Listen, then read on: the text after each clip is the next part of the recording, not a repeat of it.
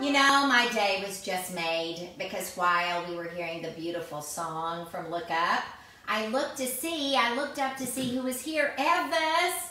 Oh my gosh, Evis, hello. Oh, even if it was just you and I, my morning would have been made. That's so good.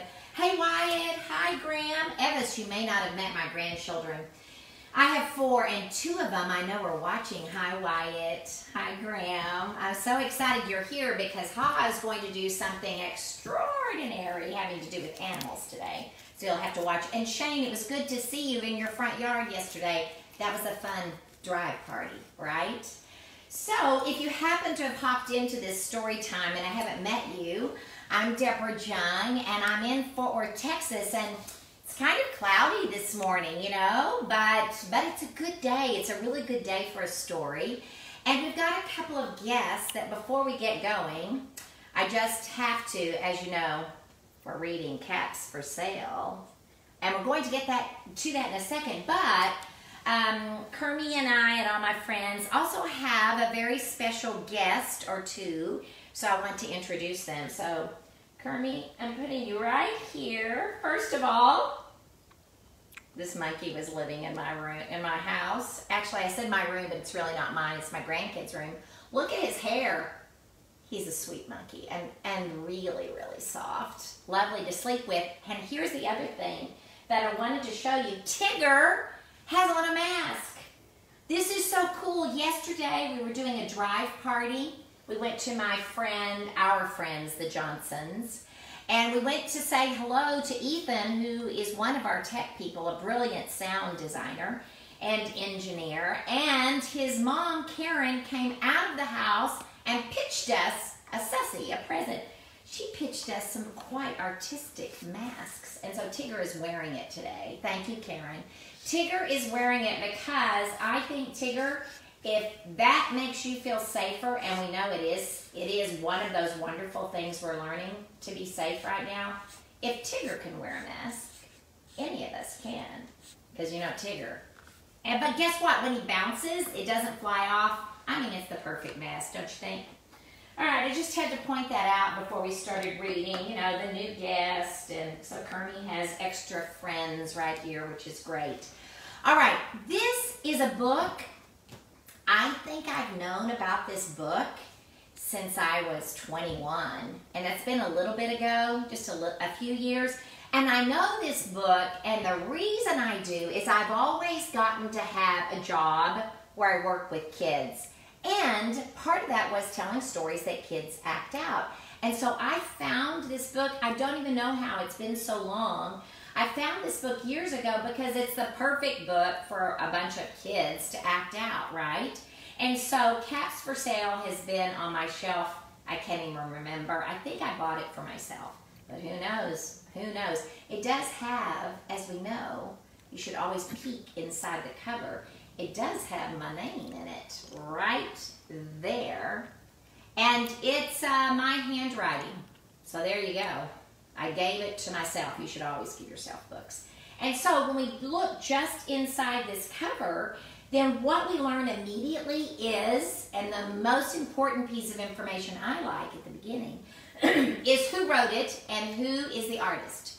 Who is the illustrator? Who illustrated the book? Who is the artist? And in this instance, it is the story and pictures are by the same person. And you know where she was born? Russia, and her name is so cool. She's the only Esphyr I know. Well, I don't know her, but know of her. I do have a friend whose name is Esther, but Esphyr, that's really beautiful. And Slobodkina. Ooh, Slobodkina. Sounds Russian, doesn't it? It is Russian. She immigrated to the U.S., which means she came to live in the U.S. when she was in her 20s. And so she and her family came from Russia as we know, all of the United States are people from all over the world. And so I love that right here, she tells us that Caps for Sale is one of the most, oh, she doesn't say it, they say it about her. Caps for Sale is one of the most popular children's books ever written. That's pretty, that's pretty big. That's a pretty big deal. And it says, a story full of hilarious confusion So confusion's great. It's the best to act out. You need some confusion because you have to figure stuff out in a story, right? So caps for sale, a tale of a peddler, some monkeys, and their monkey business. I want you to look back at the cover for a moment. I'm not going to tell you what to look for, but look very carefully and see if you see somebody besides the peddler. Have you found them? Hmm. We'll talk later. There's a bit of a hint on the front of what's to come. And look how much I love this book. Ah, the front's out. That's just because I love it so much. You know, when you love on a book or a stuffed animal, you know, it gets kind of ragged, but it makes it more beautiful. So, Esphyr has left a little message just inside, which makes me say, I need to go research a bit more because I'm wondering if these are children of Esphyr's. You know, you can Google almost anything. It says, to Rosalind and Emmy Jean, and to their grandfather who loved to read to them. I know an Evie Jean, Evie Jean Tebow, Emmy Jean, to Rosalind and Emmy Jean, and to their grandfather who loved to read them. Okay, read to them. I'm putting this over to the side so we don't lose it. I'll have to get it back in there. I'll stick it back in, make sure it stays there. Oh, here it comes. Oh, I have to tell you, as you look at this, this from a distance, and I'll make sure it's closer, Esphyr was an artist first. She lived she, till she was 93 years old, so she was an artist a long time. But the first thing that she studied was painting and sculpture, and she made these incredible collages. And in the U.S., she's quite famous because she's an abstract painter. Right. She was a very famous abstract painter. So she was a painter first, and then people started asking her to draw pictures for their books, and then she wrote a book. Pretty cool. I just thought you painters, you artists would want to know. That's how it started. Ah, here we go. Once there was a peddler who sold caps, but he was not like an ordinary peddler, carrying his wares on his back. He carried them on top of his head. Look how neatly they're stacked. How does he do that? That's amazing. There are lots of places in the world where people carry things on top of their heads. Look at him. Ooh, I quite like his trousers. Look at his pants. I'd like to have some of those. Wouldn't you? I mean, those are cool. Those would be a good costume at Kids Who Care. The little village. Okay, well, he didn't carry his wares. Those are the things he's going to sell because a peddler is a salesman. He didn't carry them on his back. He carried them on top of his head. First, he had on his own checked cap, then a bunch of gray caps, then a bunch of brown caps, then a bunch of blue caps, and on the very top, a bunch of red caps. Look at that. So organized. I'd say he's a very orderly person, right? They're not just thrown in a bag. They're all organized into categories. Hmm. On the very top, a bunch of red caps. He walked up and down the streets holding himself very straight so as not to upset his caps. As he went along, he called, Caps for sale, caps for sale, 50 cents a cap. That's a pretty good price. Oh, he's happy too. Look at his mustache. Pretty cool. I think he loves doing this.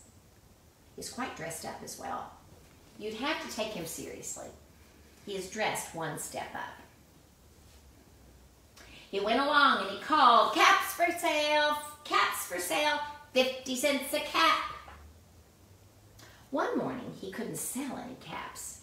He walked up the street and he walked down the street calling, caps for sale, woo, caps for sale, 50 cents a cap.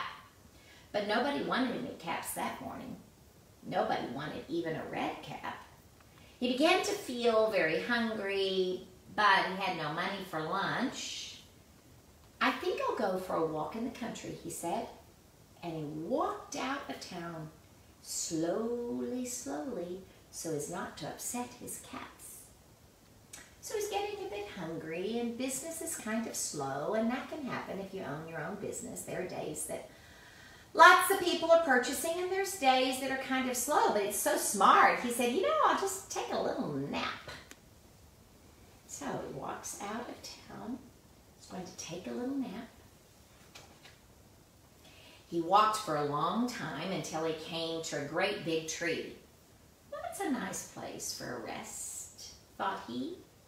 And he sat down very slowly under the tree and leaned back little by little, back against the tree trunk, so as not to disturb the caps on his head. Look at that. Not one is out of place. Look at that. But you know, if you do this every day, it's kind of like riding a bicycle or a scooter. You get really good at it. Mm, he's taking a nap. That's a good trick with all those caps on your head to take a nap. Then he put his up his hand to feel if they were straight. First his own checked cap, then the gray caps, then the brown caps, then the blue caps, then the red caps on the very top. They were all there, so he went to sleep. It was a nice place to take a nap. Very nice place to take a nap. But he's orderly. He made sure his caps weren't going to fall off. Oh. He slept for a long time. Ooh, it's so easy to go to sleep if you sit still and the sun is out and it's warm. Oh, a good afternoon nap is the best. Oh. While we're all snuggled in, you might be able to catch one or two of those. My friend Ethan was napping when we popped by his house yesterday. He was taking a nap. So great. When he woke up, he was refreshed and ready. Now he's going to go sell his caps. Aha. Hmm. Refreshed and ready, he's going to go sell his caps. Huh. Hmm. But before standing up, he felt with his hand to make sure his caps were in the right place. All he felt was his own checked cap. Oh, land sakes. Oh, dear. Oh, my. He looked to the right of him, no caps. He looked to the left of him, no caps. He looked on in back of him, no caps. He looked behind the tree. No caps. Hmm. Wonder where they are. How could they just disappear? Then he looked up into the tree. What do you think he saw? He's looking up there. Uh, then he looked up into the tree, and what do you think he saw? Ah! On every bench, a monkey. On every monkey, there was a gray or a brown or a blue or a red cap. Ah!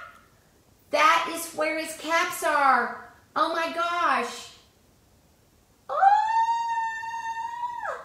Well, the tree looks great. I like how the tree looks. Oh, it's quite lovely.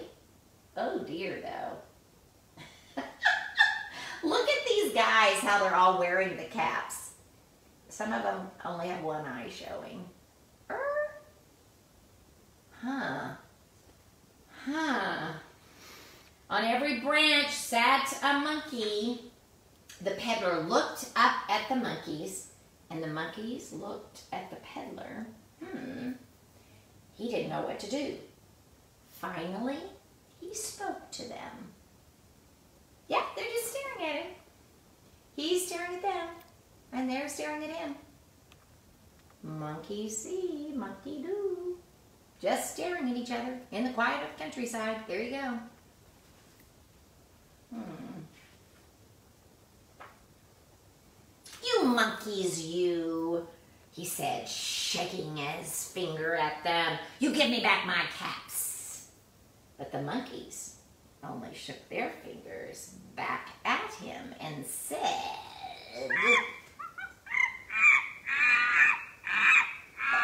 Oh, uh, oh, talking right back to him. This made the peddler angry. So he shook both hands at them and he said, You monkeys, you, you give me back my caps. But the monkeys only shook their hands back at him and they said,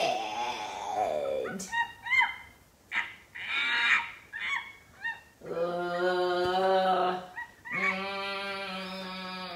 now he felt quite angry and he stamped his foot and he said, You monkeys, you, you give me back my caps. But the monkeys only stamped their feet back at him and said, Oh my gosh!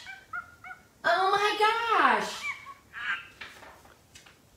By this time, the peddler was really very, very angry. He stomped both of his feet and shouted, You monkeys, you, you give me back my caps. But the monkeys only stamped both their feet back at him and said,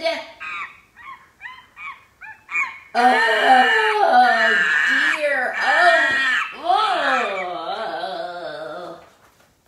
At last, he became so angry, he pulled off his cap and he threw it on the ground and began to walk away. Oh, these monkeys. How do I sell my caps? Now I really can't eat because now I don't have any money and, oh, I don't know. I guess he's not very well dressed to climb a tree. That's what some kids I know would do, probably. So he threw his cap on the ground and he began to walk away. and then each monkey pulled off his cap. Oh, I bet you already know what's going to happen. Every single monkey pulled off their caps. Ah! And all the gray caps and the brown caps and the blue caps and the red caps came flying out of the tree. Whoa! Oh, wouldn't you love to see that? Like a bunch of kites flying out of a tree.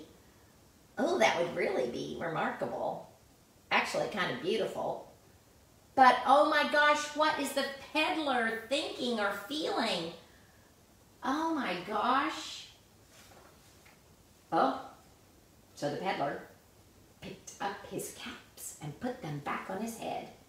First his checkered cap, then the gray caps, then the brown caps, then the blue caps, and the red caps on the very top. Oh, look how he's organizing them. This reminds me of when I get to do Legos with my grandkids, all four of them are quite wonderful at Legos. I love it when they open their bags of Legos and we get to put all the categories together. Look how smart this peddler is. Does he look concerned about the monkeys? No, he doesn't. Oh, where are the monkeys? Oh, where did they go? Where did those monkeys go? And I can't hear them either. Hmm. Where did those monkeys go? Huh and slowly, slowly, he walked back to town calling, Caps! Caps for sale, 50 cents a cap. Off he goes. Off he goes to sell his caps. He had a spurt of anger but it seems like he's okay now. Yeah? Yeah, he looks fine. He looks totally fine. The caps are organized. He's going back into town. Uh. Look, when I do this, it does tell us all about, all about this incredible Russian artist. This incredible Russian who became American artist. She's so famous. Her paintings are in the Smithsonian whoa. They're in lots of museums. I think the last museum might have been in Santa Fe. Her works travel around the world so everybody can see them. I love that she wrote this book, Slobodkina. Oh, it's a really good name, right? Really great name. Okay, now that you know what happens. Oh, oh, oh, the book. The back of the book, I must tell you. This book won a blue ribbon. Blue ribbon book. Lewis Carroll's Shelf Award. What? Look at all of the great things they're saying about Esphyr. Yeah. So on the back of the book, the people who published this book are bragging about the artist, the illustrator, and the author. Now that you know the story, look, what do you see behind the tree? What? There was a hint on the front about what was going to happen. Tracy, do you see that? You and I both know a lot of monkeys disguised as children. I love this so much. Oh, I fell in love with it again. Would you believe I've had this book my whole adult life and I never paused long enough to read about this extraordinary artist? Now I have to go find her work. The next time I'm back at the Smithsonian, the next time I'm in Santa Fe, I have to look and see if it's still there. I just love that artists are artists are artists, and you are too. And as we leave, I'm going to say a second thank you. I'm saying a second thank you to my friend Karen Johnson, who's making these masks, and my friend Catherine Albright, because while we're all snuggled in, there are people wearing these masks every day, working very, very hard to get everybody well, right? To help those people who need to get better. So Tigger and I will close with that. And I'm here tomorrow. Tomorrow's Saturday. So Saturday morning, if you're about to lose a tooth, I'm just saying you might want to tune in tomorrow morning. It's about teeth and the tooth fairy, right? I want to thank my cameraman, Dexter Adolph Young III, and I want to thank the most amazing social activist who's also get making sure this gets to you, Miss Tracy Clyburn. Thank you very much, Tracy. I'm glad you're here. And Neely Reynolds, we started with your song. We always start with your song from the kite because it's just the perfect thing. So thank you for your beautiful music. We're using it every day. And as we leave, I'm going to remind you the voice you're hearing is Marissa Sykes, who played The Little Mermaid at Who Care in Fort Worth, Texas. And this summer, somehow we're doing Look Up. And this is from Look Up. Marissa Sykes. See you tomorrow. Contrails in the sky, planes on which I'd like to